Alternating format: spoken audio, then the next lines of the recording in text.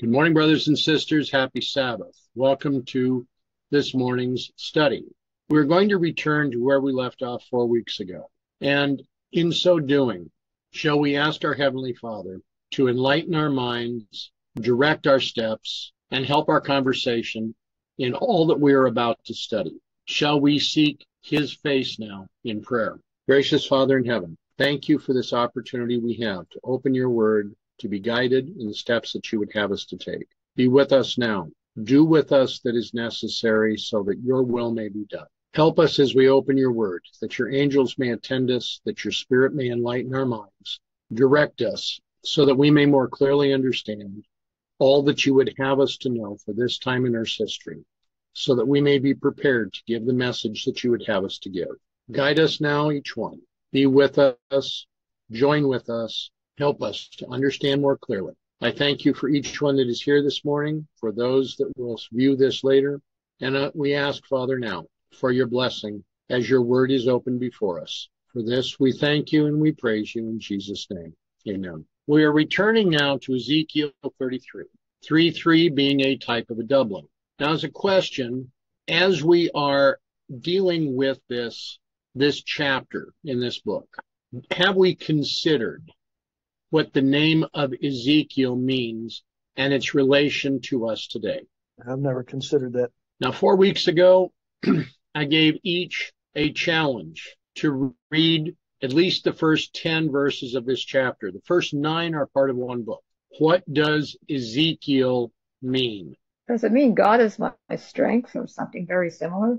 If we take it in the Hebrew, I believe we would find that the meaning is God will strengthen. Is this not what we are looking for today? To be strengthened by God so that we may go forward to do the work that He would have us to do. Amen.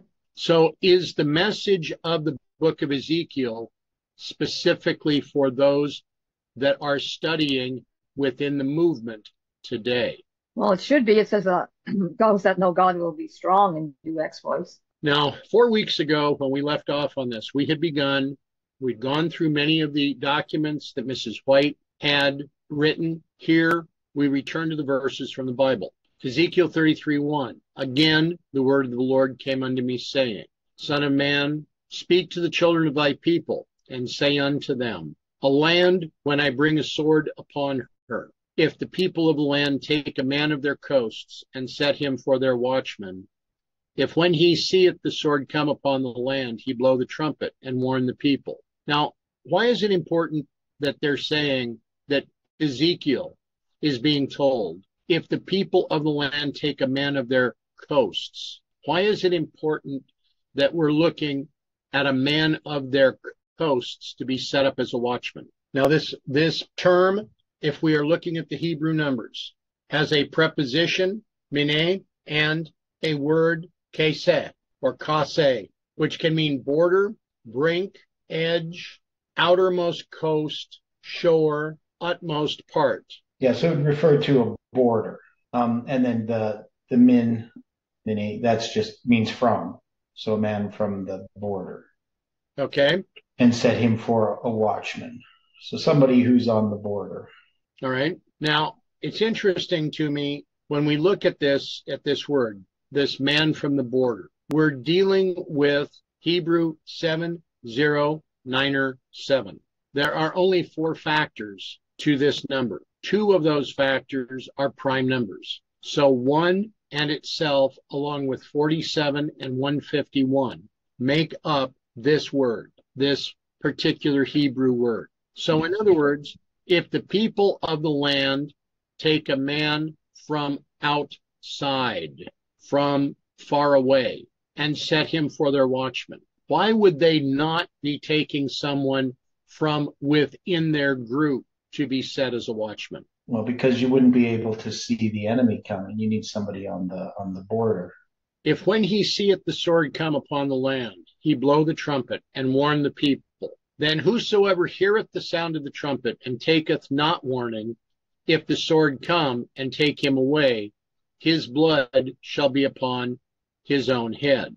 Now, four weeks ago, we got into quite a conversation about he that hearing heareth as being a type of a doubling. And Theodore was making some very good points about the structure of this verse. Now, what we continued with, he heard the sound of the trumpet and took not warning. His blood shall be upon him, but he that taketh warning shall deliver his soul. If we are comparing verses four and five together, is this not making basically the same statement twice? What do we see here? Well, Dwight, I, can I make a statement what you said earlier?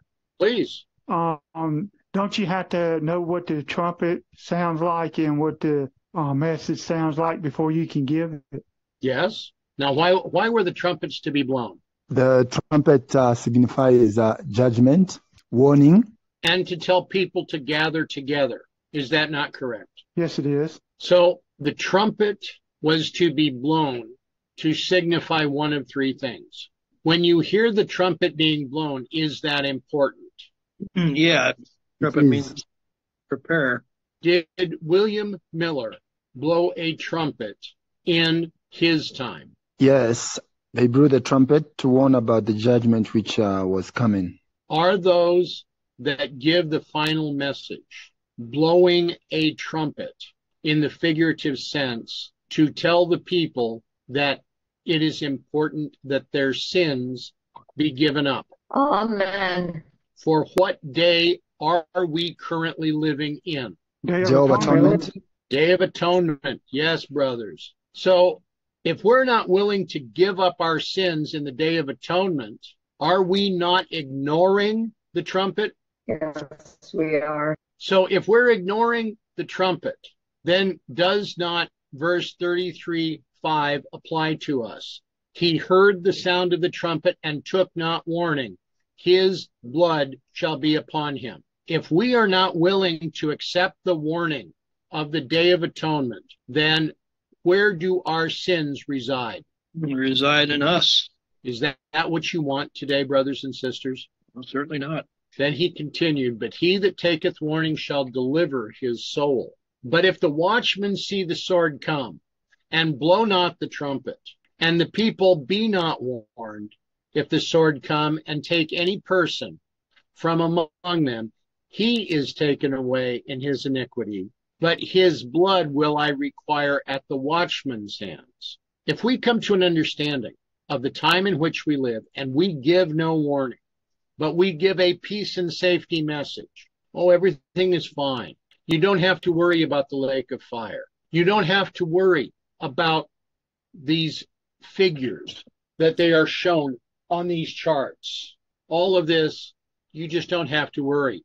All you need is the love of Jesus. If we're not willing to give a warning message that the Day of Atonement is about to close, if we are not willing to warn our brothers and sisters of what is about to happen, then their blood is upon whom? Upon us. Is that what you want? Is that what any of us want at this time? No. Now, as we continue, now we come to a document that was written on the 25th of June of 1900, according to the Gregorian calendar. But according to the Julian calendar, it's written on the 12th day of the sixth month. Is there any symbolic reference here? What do we see?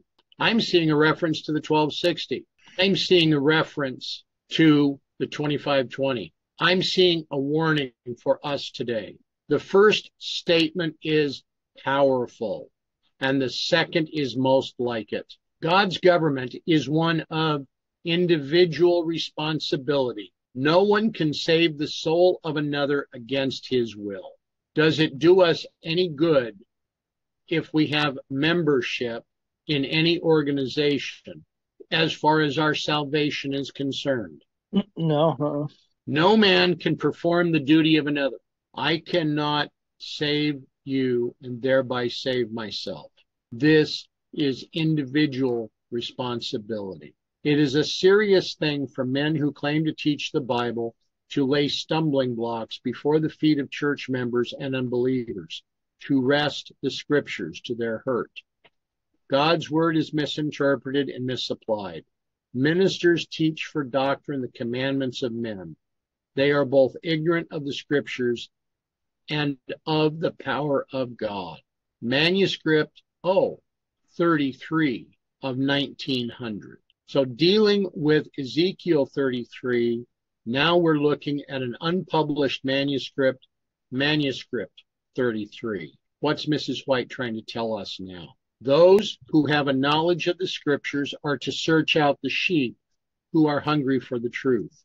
Can a sleepy watchman search out the sheep? Can a sheep that is asleep become hungry for the truth? They are to bear their message to all that those who have not been fed with pure provender, pure food, may have an opportunity to hear and to understand for themselves. God's faithful messengers must lift up the voice, as did John the Baptist, proclaiming the message of warning, preparing the way for his second coming. God will not leave his people in darkness to be led by men who, though they occupy the position of shepherds of the flock, are warring against God's commandments. It has been said many times that God would prefer that all be saved. This is an individual choice. This is one of individual responsibility. Can we save the soul of another against their will? No. All right, move on to the next. So, if we're going to be one of the faithful messengers, we are to proclaim the message of warning, preparing the way for Christ's second coming. Again, the word of the Lord came unto me, saying, Son of man, speak unto the children of thy people, and say unto them, When I bring the sword upon a land, if the people of the land take a man of their coasts and set him for their watchman, if when he seeth the sword come upon the land, he blow the trumpet and warn the people, then whosoever heareth the sound of the trumpet and taketh not warning, if the sword come and take him away, his blood shall be upon his own head. He heard the sound of the trumpet and took not warning, his blood shall be upon him. But he that taketh warning shall deliver his soul. But if the watchman see the sword come and blow not the trumpet, and the people be not warned, if the sword come and take any person from among them, he is taken away in his iniquity. But his blood will I require at the watchman's hands.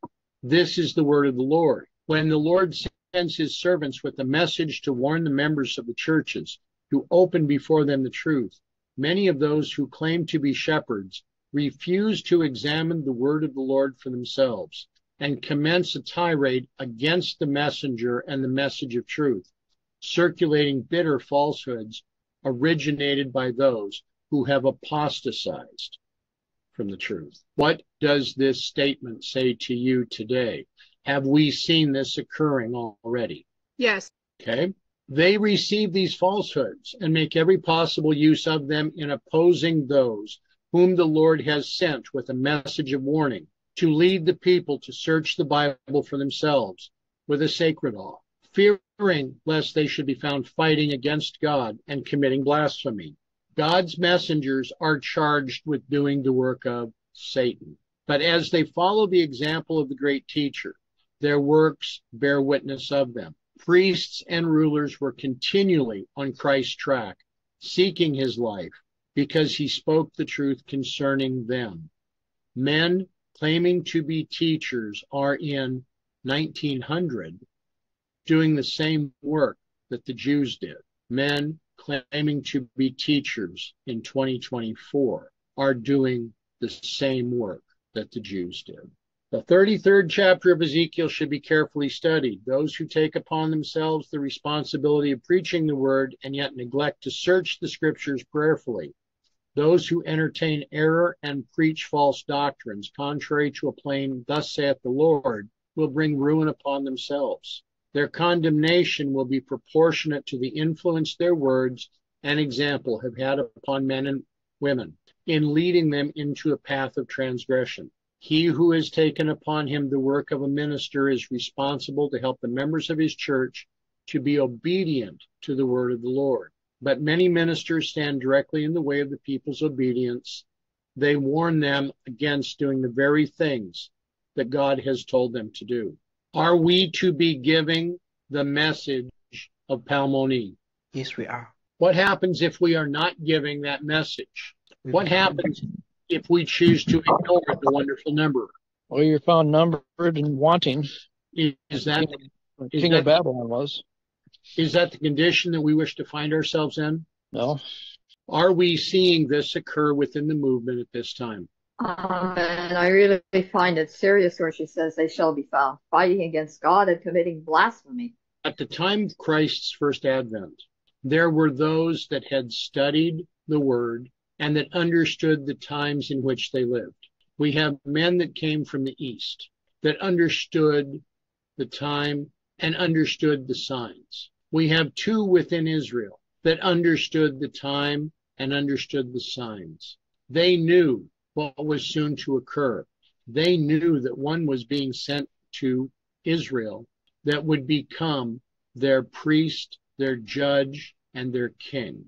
All of this was available to be understood, including by the priests, including by the rulers.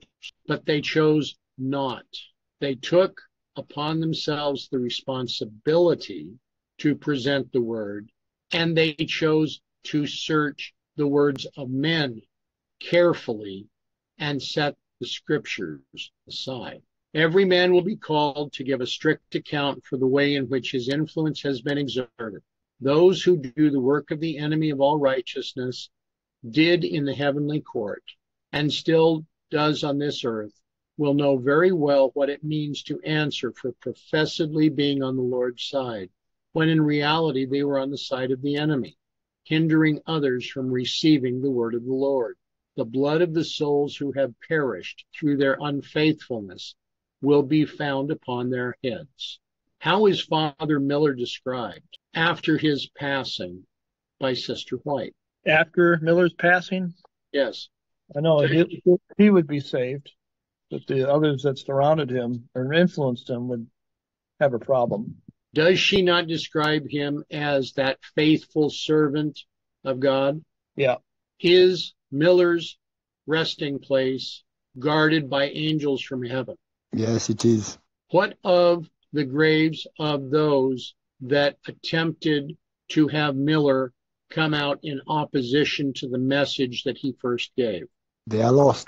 They are lost. Their, the blood of the souls that perished through their unfaithfulness will be found on their heads. We will see this occur again and again. Ezekiel 33 7. So thou, O son of man, I have set thee a watchman unto the house of Israel. Therefore thou shalt hear the word at my mouth and warn them from me. God will strengthen the watchmen that are sent unto the house of Israel. God will strengthen those that go before the ancients of the house of Israel and unto Jerusalem itself. God will strengthen. Is this a statement? Is this a promise? Or is it both? Consider carefully. Does the word of the Lord return unto him void? No. So in this situation, the name of Ezekiel, God will strengthen. Is this his word that we can rely on? Manuscript 7, 1868. But now you have become more reconciled to the plain labor adopted by the seventh, the Sabbath keeping Adventists. You are not clear until you work earnestly to counteract your past labor, which has been in opposition to the work which you now acknowledge to be of God. You have a class of brethren you could help. You have a duty to perform in setting the truth before them and urging upon them its claims. You dread to approach opposers, but when you are sensible to the responsibilities and duties devolving upon the watchmen on the walls of Zion, you will work more earnestly and courageously. Here again, she repeats Ezekiel 33, 6 and 7. This is the business of the watchman to hear the words at the mouth of the Lord and warn the people. Ministers are mouthpieces for God.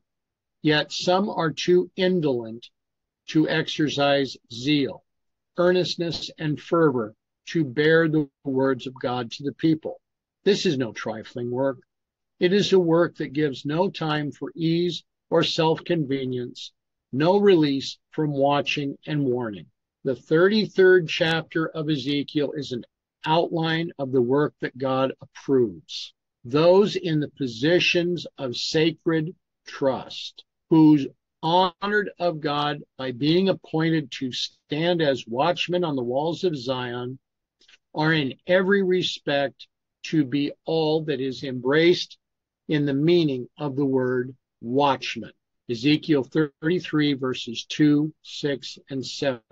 They are to be ever on guard against the dangers threatening the spiritual life and health and prosperity of God's heritage. Now, I have a question. Here we have these three numbers, 267. Do those numbers relate to anything on either the 1843 or the 1850 charts? Not that I know of. If you multiplied 2 by 6 by 7, what would you come out with? 84. So here you got 2 by 6, which is 12, multiplied by 7, which gives us 84. Here again, the 33rd chapter of Ezekiel is an outline for the work that God approves. The 33rd chapter of Ezekiel is the exact opposite of what God has seen occurring in Ezekiel 8 and 9. Here, Mrs. White continues in manuscript 165 of 1902. Upon us as ministers, God has placed a burden of solemn responsibility. Us. Is she including herself in this description? Yes, she is. Is she including us in this description? I think she is. So we bear a burden of solemn responsibility. Realizing that we are his chosen watchmen, we should have constant concern and forethought in regard to the state of the church. We should have constant concern and forethought in regard to the state of ourselves. We should give much time to earnest prayer for divine wisdom and guidance in order that we may know how best to promote God's honor and glory. He has commissioned us to honor him, the omnipotent one, in every word and in every act. From him comes our maintenance. We are wholly dependent upon his sufficiency, his bounty for our support. Ezekiel 33 8. When I say unto the wicked, O wicked man, thou shalt surely die if thou dost not speak to warn the wicked from his way, that wicked man shall die in his iniquity, but his blood will I require at thine hand. If we do not give a warning to those that are not following God in spirit and in truth, we will be responsible for their blood. Do we want to find ourselves in that condition? Manuscript 92 of 1897. The message might not please those to whom it was sent. They might not wish for anything new, but desire to go right on as they have been doing. But the Lord stirred them up with reproofs. He rebuked their course of action. He infused new life into those who were sleeping at their post of duty, who were not faithful sentinels.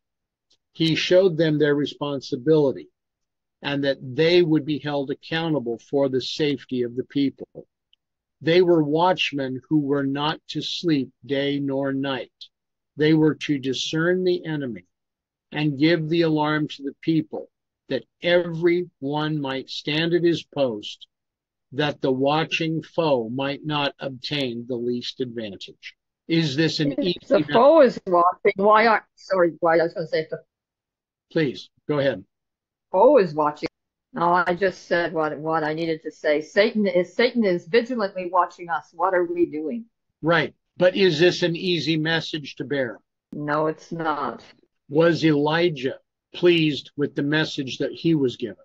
Was Jonah pleased with the message that he was given?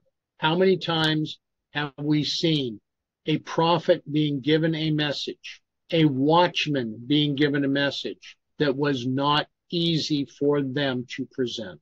And today the Lord declares to his watchmen, if they are unfaithful and do not warn the people who are in peril, they will be taken away in their sins, and their blood, he says, will I require at thy hands. But if his messengers lift up their voices in reproof and warning to turn men from their wicked ways, and these souls will not hear, then the watchman is clear.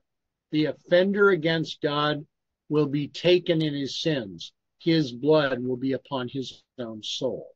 Let it never be forgotten that these institutions are to cooperate with the ministry of the delegates of heaven. They are among the agencies represented by the angel flying in the midst of heaven, having the everlasting gospel to preach unto them that dwell on the earth, and to every nation and kindred and tongue and people, saying with a loud voice, Fear God and give glory to him, for the hour of his judgment is come. From them is to go forth the terrible denunciation. Babylon is fallen, is fallen, that great city, because she made all nations drink of the wine of the wrath of her fornication.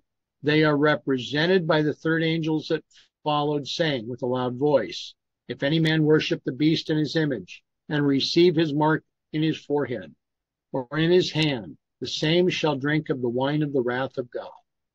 And in a large decree through our publishing houses is to be accomplished the work that the other angel who comes down from heaven with great power and who lightens the earth with his glory. Solemn is the responsibility that rests upon our houses of publication. Those who conduct these institutions those who edit the periodicals and prepare the books, standing as they do in the light of God's purpose, and called to give warning to the world, are held by God accountable for the souls of their fellow men. To them, as well as to the ministers of the word, apply the message given by God to his prophet of old. Son of man, I have set thee a watchman unto the house of Israel. Therefore shalt thou hear the word of my mouth and warn them from me. When I say unto the wicked, O wicked man, thou shalt surely die. If thou dost not speak to warn the wicked from his way, the wicked man shall die in his iniquity, but his blood will I require at thine hand. Never did this message apply with greater force than it applies yesterday, right? Today. Today. So this message needs to be applied today. Comment from the chat. May God help us first preach to ourselves and change in our characters before we preach to other people. Amen. Amen. The work begins with us. More and more, the world is setting at nothing the claims of God. Men have become bold in transgression. The wickedness of the inhabitants of the world are has almost filled up the measure of their iniquity. This earth has almost reached the place where God will permit the destroyer to work his will upon it. The substitution of the laws of men for the law of God, the exaltation by merely human authority of Sunday in place of the Bible Sabbath, is the last act in the drama. When this substitution becomes universal, God will reveal himself. He will arise in his majesty to shake terribly the earth. He will come out of his place to punish the inhabitants of the world for their iniquity, and the earth shall disclose her blood and shall no more cover her slain. What happens when God arises? What happens when Christ arises? Probation ceases. Exactly. Mrs. White repeats this in special testimonies. Solemn is the responsibility that rests upon our houses of publication. Those who conduct these institutions, who edit the periodicals and prepare the books, standing as they do in the light of God's purpose, are called to give warning to the world, are held by God accountable for the souls of their fellow men. To them, as well as to the ministers of the word, applies the message given by God to his prophet of old Son of man, I have set thee a watchman upon the house of Israel. Therefore thou shalt hear the word of my, at my mouth and warn them from me. When I say unto the wicked, O wicked man, thou shalt surely die. If thou dost not speak to warn the wicked from his way, that wicked man shall die in his iniquity, but his blood will I require at thine hand. What happens in the houses of publication if they choose to change that which Sister White has written to make it easier to give to those currently not understanding the Word of God. Ain't it the same punishment you have in Revelation 22? I would think so. How many times have Christ's object lessons been changed? How many times has the great controversy been changed? How many times have the words that were given by Sister White been watered down because we don't want to offend someone? Yeah, I think uh, done it a few times. That one, that one little book called The Great Hope or something like that. Right. That's a really watered down version there. What did you think of it? I don't know what to think of it. There's, there's nothing there that excites, you know, spirit or anything. Well, it sure ain't as big as the big, the um, great controversy. It does not want to cover things in depth. And what's one of the major points, one of the major series of points that are missing from the great hope that we find in the great controversy? The man of sin. Purpose. Do we also not miss the historical applications and the numbers that were being presented by Sister White? Yes. Can we set aside the numbers that we find in Scripture? No. Okay. In all our work, even in mechanical lines, God desires that the perfection of his character shall appear. The exactness, skill, tact, wisdom, and perfection, which he required in the building of the earthly tabernacle, he desires to have brought into everything that shall be done in his service. Every transaction entered into by his servants is to be as pure and precious in his sight as were the gold and frankincense and myrrh, which is sincere, uncorrupted faith the wise men from the east brought to the infant Savior. Here again, the wise men from the east had been studying. Here again, the wise men from the east brought three symbols gold for the king, frankincense for the priest, myrrh for the sacrifice. Nevertheless, if thou warn the wicked of his way to turn from it, if he does not turn from his way, he shall die in his iniquity, but thou hast delivered thy soul. Now, here we are today. We have a verse. We have several more items to address, and we are coming very close to the close of this week's session. What does it mean to us if a warning is given and the one that is warned chooses not to accept it? We deliver our souls. We deliver our souls. Have we done the work that God has asked us to do? We did it partially. We did it partially in in telling Nashville. Here we have a work that is before us. A word of warning is to be given. Did John the Baptist warn the nation of Israel before the baptism of Christ? Yes, he did. Did he continue to warn the nation of Israel after the baptism of Christ? Did Yes, he did. Did these people accept the warning and accept Christ as their Messiah? no instead no instead they afflicted him. Okay. For this next week, I want you to consider this verse. Consider carefully what this verse means to your life today.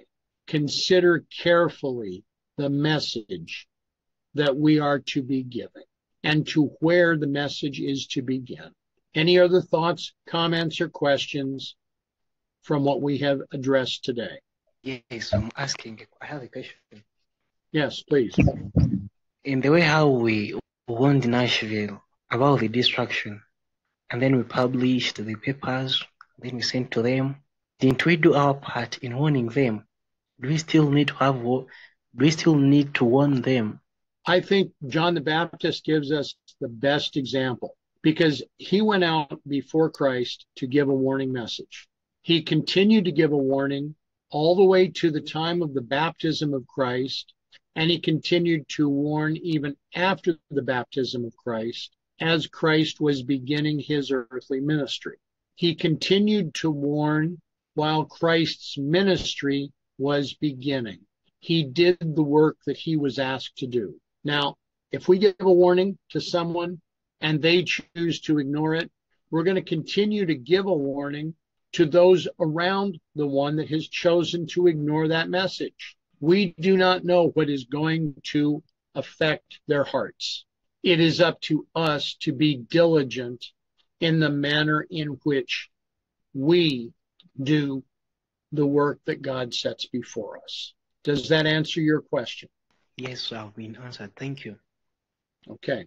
Any other thoughts or questions today? Okay, then let us close with prayer. Loving Father in heaven, forgive us of our sins.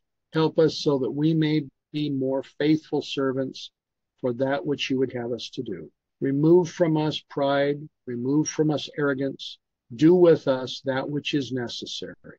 Help us now, guide us and direct us so that your will may be done in our lives and to do those things that you would seek for us to do.